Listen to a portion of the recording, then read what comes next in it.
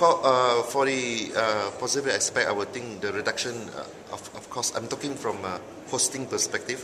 With the cloud computing, we can actually reduce uh, cost of hosting, and uh, we are talking about data storage, right? Uh, so with cloud computing, we can actually have affordable way to store all our data. Okay, but the problem is with cloud computing, there's a question of privacy. You know, once your data is there, you know, it is apparently that it will be like distributed to in the cloud. So, who is controlling the data?